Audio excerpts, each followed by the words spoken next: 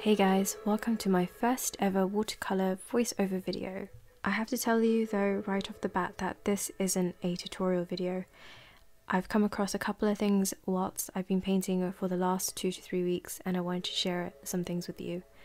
I wanted to talk about one of my recent paintings, which is a seascape drawing that I did recently, and I wanted to go over some of the tips and tricks warming back into doing landscape paintings again and some of the materials that I used for the painting. Preparing for a painting, even if you haven't done it for a long time or if you're starting out, is just as important. Look at things like Pinterest, Tumblr, even Instagram has loads of amazing photographers on there. Most of all, just look around you and you can find inspiration anywhere from like things you've seen, objects, color composition, just general storytelling, and things that you could use in your own work. The rule of thumb of doing any kind of landscape type of drawing is to start from the background and work your way to the foreground. This sort of rule applies to watercolour, acrylic, and oil paintings, and any type of gouache that you're using. The basis of understanding this sort of concept is basically the further away an object is, the fainter it is in the distance. So, therefore, when you build your way to the foreground, you're building up the darker layers and making the details a little bit more prominent. But this rule doesn't necessarily apply to all kinds of watercolor landscape drawings. For instance, the one that I've done doesn't really have a background, everything is dependent on the way the water is and how much of that is a reflection within the pale grey sky.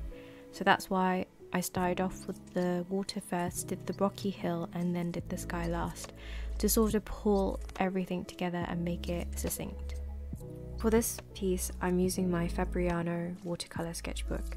It's one of my go to sketchbooks that I have a lot of my landscape pieces in. The quality of the paper is incredibly forgiving when you add layers of colour washes. You can blend tones so naturally and it gives such an even texture.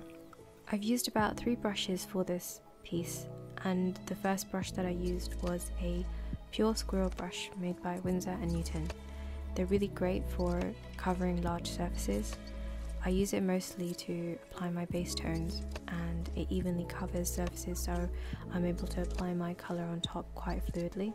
Another brush that I love using is my Kuretake small watercolor brush. I've recently got that and I'm just in love. It has so many qualities to it and it's so versatile in what I need it for.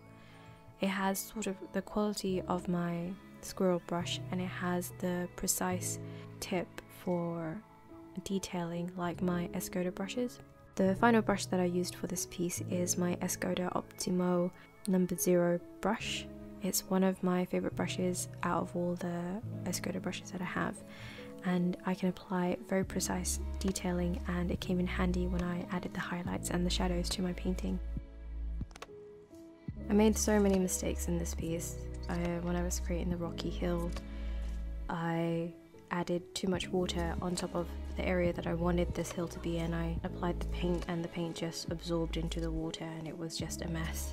But there's a lot of stuff like that that happens within landscape drawings. Unless you're planning it out perfectly down to a T, then these sorts of abstract mistakes can be used to your advantage.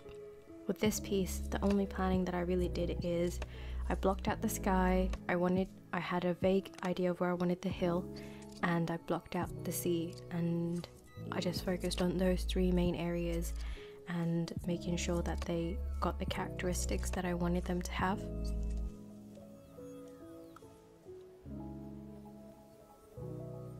The only the well, the biggest tip that I can give you guys is make sure your darkest areas are dark and your highlights are bright and then pretty much everything sort of falls into place because it's so easy for it to become so wishy-washy it's so easy to lose definition in all of that sort of brush strokes that you sort of forget that this has to have dimension it has to have depth even if it is water even if it's like a a sky or something like that, all those little nuances, they need to have their depth and their detail.